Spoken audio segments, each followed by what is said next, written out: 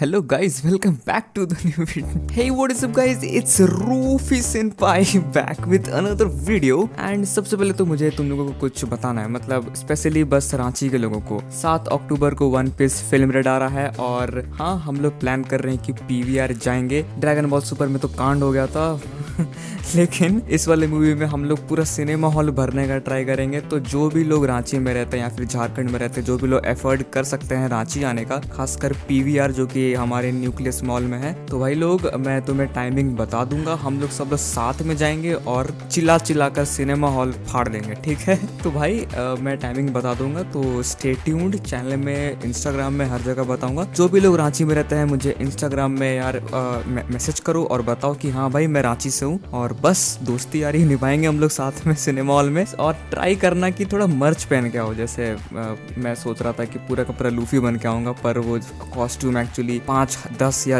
वैसी ग्यारह हज़ार का है तो ना भाई उतना पैसा नहीं है हमारे पास। एंड या I know it's sad but India में कुछ ऐसे स्टेट्स हैं जहाँ पे पीवीआर नहीं है बल्कि इंडिया छोड़ो मेरी ऑडियंस में से बहुत से लोग नेपाल बांग्लादेश पाकिस्तान से हैं। वे लोग भी मूवी नहीं देख पाएँगे मुझे तुम लोगों के लिए बहुत ही बुरा लग रहा है। बट ट्राई करना कि टिकट खरीदने का मैं उन लोगों को नहीं कह रहा हूँ कि जो भूले भटके टाइप जो बेसिकली स्टूडेंट है बट जो इकोनॉमिकली डिपेंडेंट है, तुम लोग ट्राई करना टिकट लेने का, इससे मूवी को सपोर्ट मिल जाएगा। मैं तो भाई खुद इस मूवी को दो तीन बार देखने वाला हूँ due to some private reason अब आते हैं टॉपिक पर। एडवर्ड न्यूगेट ए के ए वाइट बियर्ड एक ऐसा कैरेक्टर लगता है मुझे जिसको अपने लाइफ में कोई भी रिग्रेट नहीं था। हाँ बस एंड में इस वाला कांड को छोड़कर, वरना देखा जाए तो वाइट बियर्ड अपने लाइफ में सब कुछ अचीव कर ही चुका था। वो अपना ड्रीम पूरा कर चुका था, जो कि था family as we know Whitebeard एक ऑर्फन था। बचपन से ही वो अकेला रहा है, ना ही कोई फैमिली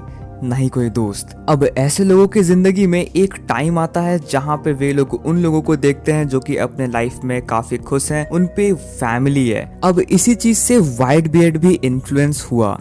लाइक like, कैसा होता है एक फैमिली का होना? ये फीलिंग होता कैसा है? ये चीज़ वो पहली बार महसूस करता है रॉक्स पायरेट्स में। बट एज वी नो वो ये खुद बताता है कि ये एक्सपीरियंस उसके लिए बहुत ही खराब था। लेकिन अगर देखा जाए तो उसको ये आइडिया लग गया था कि अब आगे क्या करना है। एंड इसी तरह गॉड वैली इंसिडेंट के बाद वो अपना क्रू बनाता है जिसको वो फैमिली मानता है। लेकिन उसका ड्रीम जब पूरा हो जाता है तब भी उसके पास एक और गोल रहता है। और वो चीज़ रॉजर से रिलेटेड है। बट वो चीज़ है क्या? लाफ्टिल जाने के बाद रॉजर को world century ancient weapon will of D और वो सब कुछ। ये सब चीज़ आपस में कैसे कनेक्टेड है? इन सब का रॉजर को आइडिया पड़ जाता है। इन सब का ट्रूथ रॉजर को मालूम पड़ जाता है। और जब रॉजर क्रू डिसमिस करता है, तब वो ये कहता है कि वो वाइट बियर्ड से मिलना चाहता है। यानी कि वाइट बियर्ड को वो कुछ ऐसा बताना चाहता था जो कि उसका जानना ज़रूरी है। या फिर वो उसको कुछ ऐसा टास्क देना चाहता हो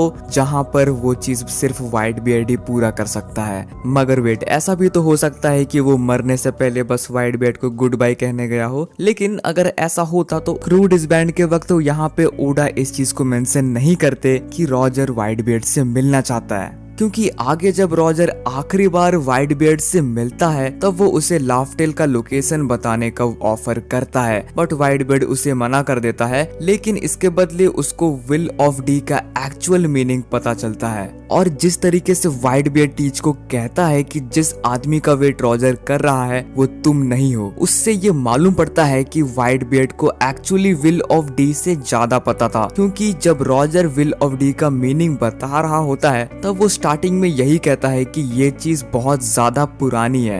यहाँ पे हम लोग ये सेफली एज्यूम कर सकते हैं कि will of D somehow white century और इंसेंट वेपन दोनों से ही कनेक्टेड है। सो बेसिकली रॉजर ने वाइट बियर्ड को ये कन्विंस करा होगा कि फिशमैन आइलैंड को अपने प्रोटेक्शन में रखो ताकि इंसेंट वेपन पोसाइडन सेफ़ रह सके। रॉजर को तो ये मालूम ही था कि पोसाइडन फिशमैन आइलैंड में ही पैदा होने वाली है तो उसको एक सेफ़ इन्वायरमेंट देना ज़रूरी है। रॉजर को ये मालूम था कि ये काम सबसे अच्छे से व्हाइट बियर्ड ही कर सकता था। लेकिन फिर फिशमैन आइलैंड में जो रेड पॉनिक्लिफ था, जो कि अब मिसिंग है, उसका हुआ क्या? ये जानना है तो ये वाली वीडियो देखो। और हाँ मुझे गुड लक विश करना मेरा एग्ज़ाम है। बाय